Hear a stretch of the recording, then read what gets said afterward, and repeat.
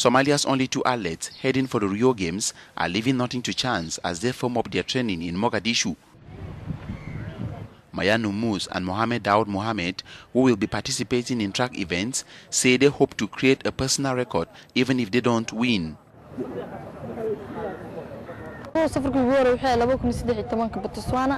My first trip abroad for competition was in Botswana in 2013, then the Youth Olympic Games in China in 2014, and Congo Brazzaville the same year, and more recently Tanzania in 2015.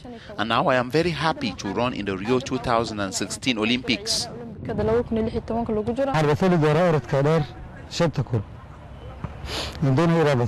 I will start with the 400 meters once I reach Rio.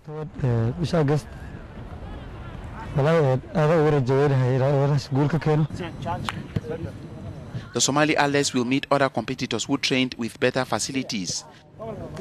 But this, they say, has not affected their confidence in any way. Somalia had many top athletes in the 80s who either sought greener pastures or went into exile. We have been training for four months now, and I hope that our efforts will bear fruits. After a long war, Somalia is struggling to establish peace despite repeated attacks from Al Shabaab. The government is aided in this mission by African Union troops.